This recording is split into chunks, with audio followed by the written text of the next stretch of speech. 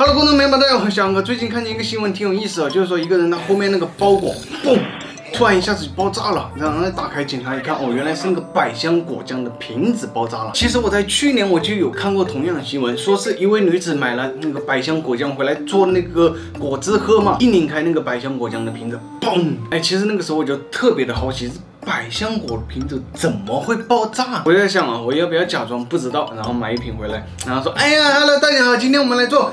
百香果奶茶吧，哦，然后我们把这个瓶子打开，嘣，不过有点假，有点假，有点假。所以呢，今天我就买了一瓶回来，对，就是这样的。看看里面就是，啊，全部都是百香果果汁，毫无添加的纯果原浆。那我也查了一下，这百香果就是在室温环境下它就会发酵嘛，就会产生大量的气体，所以就会胀。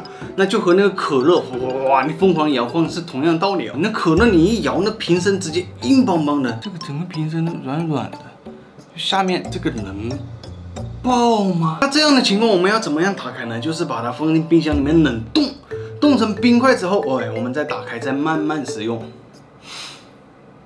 所以我已经在常温下放了一天了。那我这个视频呢，也是起到一个警示的作用啊，仅仅是不要模仿啊，大家购买这个的时候也需要小心谨慎。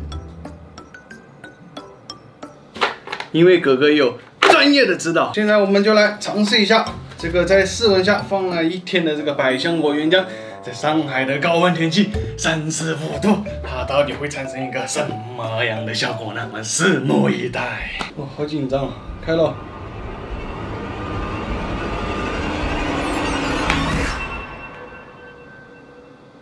浪费我表情。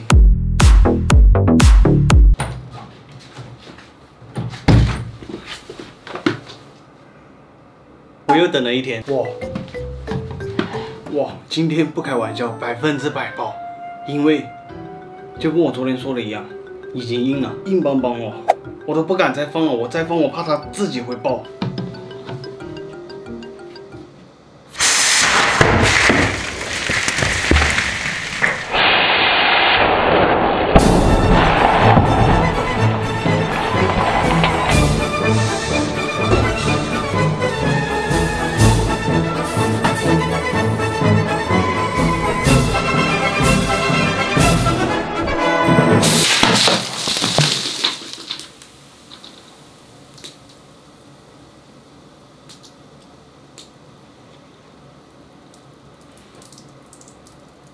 吓我一跳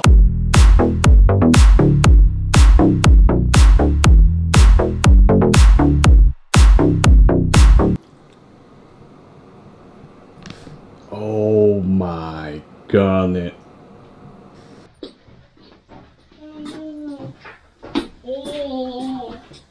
啊，我的神呢？